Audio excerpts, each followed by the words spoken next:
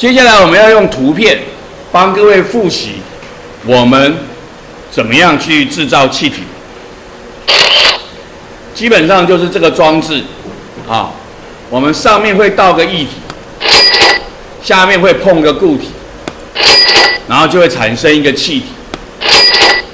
现在你就要记住，我倒什么液体，碰什么固体，产生什么气体。倒双氧水，碰二氧化锰，产生氧气；到稀盐酸，碰碳酸钙，产生二氧化碳。这个要锥形瓶，小事一桩。这个玩意儿叫做什么玩意儿？这个东西叫做什么？这个东西叫做这个东西叫做什么东西？这叫做什么东西？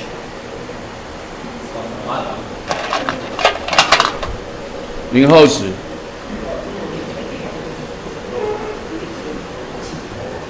你用它？你说这玩意儿叫做鸡头漏斗。这个鸡头漏斗呢，有一个注意事项。啊，这个鸡头漏斗有个注意事项。啊，你这边有放水，就这个注意事项。注意什么事？我要你注意什么事情？我要你注意什么事？李品轩。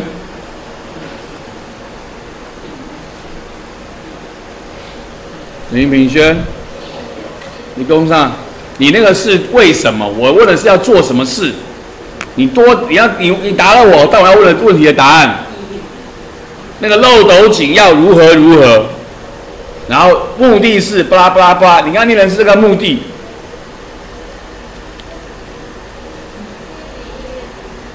你跟上，你跟上。什么叫气体？然后又意面？什么叫气体？然后意面？什么东西？在讲什么？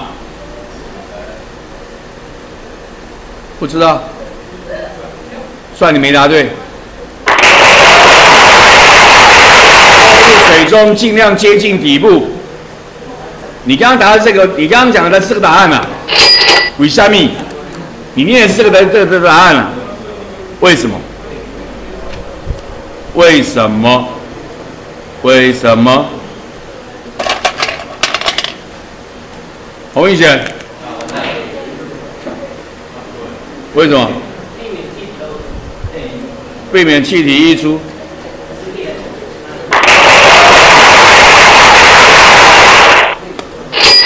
然后用适当方法收集。我们国中都教你什么方法？排水集气法。我们用的都是排水集气法，啊，排水集气法，我有叫你注意一些事，你还记得吗？为什么一开始的气体不要收集啊？啊，为什么一开始的气体不要收集啊？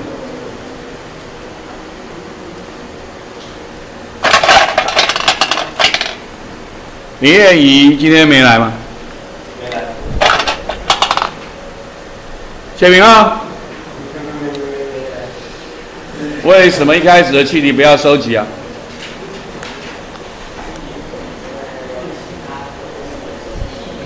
李东上，你说有其他气体，我也不能说你讲错了。不过我不是这样教的，我说是因为还有个注意事项啊，气体产生太快要怎么处理啊？气体产生太快要怎么处理啊？啊！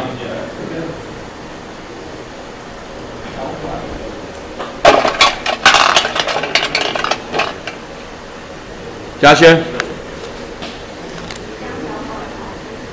你坐，将导管从水中拔出。